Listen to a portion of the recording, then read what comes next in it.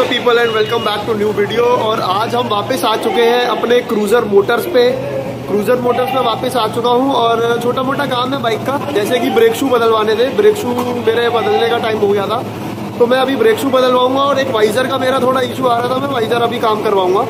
तो वाइजर का ये इशू है थोड़ा सा। जब रेव करते हैं ना तो वाइब्रेशन आ रही है वाइजर में। जो उसके में नट वगैरह है, वो मैं ऑलरेडी टाइट करके देख चुका हूँ। बट सक्सेस नहीं मिली मेरे को तो देखते हैं क्या पता रबर सील वगैरह खराब है क्या खराब है। तो अभी बस वाइजर का भी काम करवाएँगे और अपना ब्रेक शूज़ बदलवाएँगे। बाइक अपनी हो गई है 8000 किलोमीटर तो ज़रूरी है यार ब्रेकिंग ब्रेक सबसे ज़्यादा इंपॉर्टेंट होती है। तो अभी ब्रेक शू बदलेंगे ये ब्रेक शू कैसे बदलते हैं वो भी मैं देखूँगा। एक्स्ट्रा ब्रेक पैड्स में यहाँ से अपने साथ आज कैरी करके लेके जाऊँगा, क्योंकि अपना एक लॉन्ग ट्रिप आ रहा है मे में तो मैं थोड़ा बहुत जो सामान है एक्स्ट्रा स्पेयर्स वो मैं अपने साथ रखना चाहता हूँ।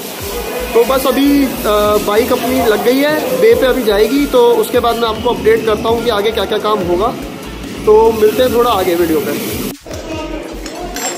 तो यार, अपने ब्रेक शूज़ निकाल रहे हैं भैया बाहर। और दोनों ब्रेक शूज़ आ चुके हैं अपने, वो रखे हैं अगला पिछले का। तो चेक करेंगे, घिस गया है, क्या हालत है, क्या कंडीशन है, उस हिसाब से बदल लेंगे इनको। अभी पॉज करता हूँ एक सेकेंड तो बाइक की जगह थी निकलने की। मैं खड़ा हो गया बीच में। तो भैया ने निकाल दिया अपना।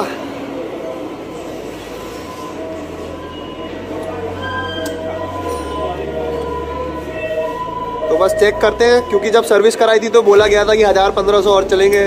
पंद्रह सौ के करीब तो चल गई है तो कंडीशन एक बार देख लेते हैं ब्रेक शूज़ की। फिर बदलवाते हैं।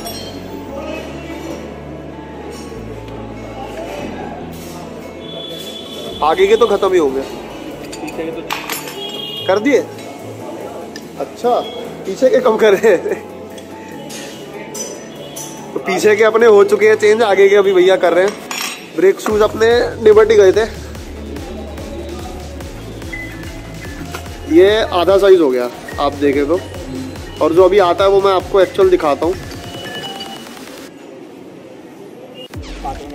ये है अपने नए वाले। ये अभी भैया दिखाएँगे।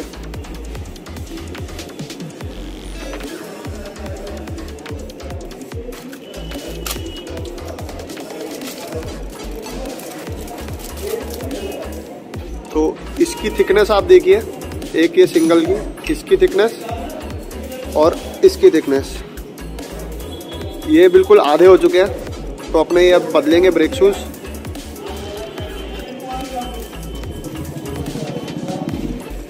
ये क्या रियर वाले थे ये? तो ये रियर ब्रेक शूज़ हैं जो बदल दिए हैं, पुराने वाले इसमें डाल दिए भैया ने।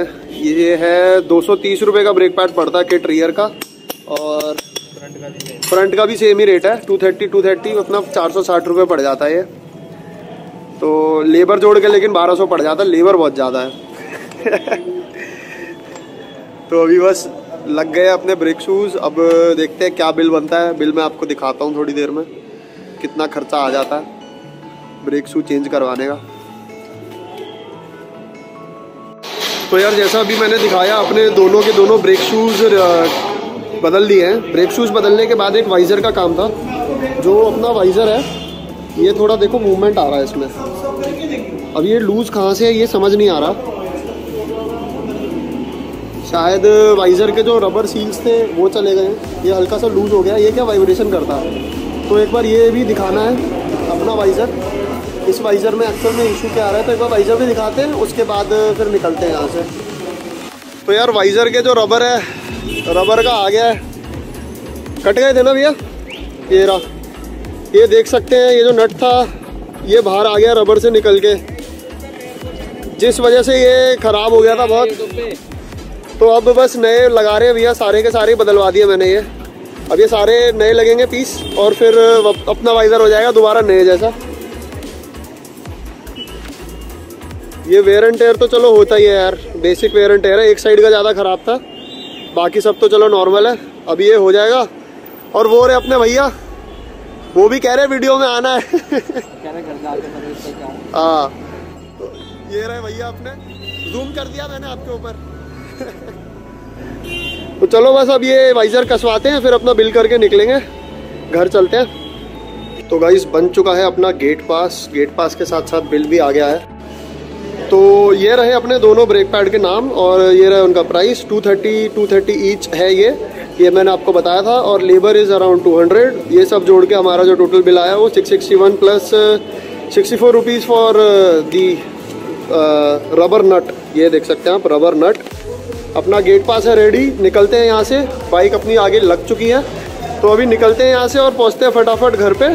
तो यार, थोड़ा बेसिक इन्फॉर्मेशन दिया मैंने। ये जो, जैसे पार्ट कॉस्ट है पार्ट कॉस्ट आपको पता चल जाएगा कि आपके सर्विस सेंटर पे क्या कॉस्ट करेगा, क्योंकि ऑल अराउंड द वर्ल्ड भी इंडिया में भी इंडिया में हर जगह पार्ट्स के प्राइसेस सेम हैं।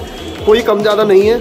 ठीक है? तो आपको थोड़ा एक आइडिया लग जाएगा कि ये जो बेसिक पार्ट्स होते हैं, ये जो बेसिक मेंटेनेंस में आपका कितना खर्चा आ सकता है हिमालयन के अंदर। तो बस यही ख़त्म करते हैं वीडियो को। Thank you for watching this video and please like share and subscribe ये मैंडेटरी लाइन है अपनी।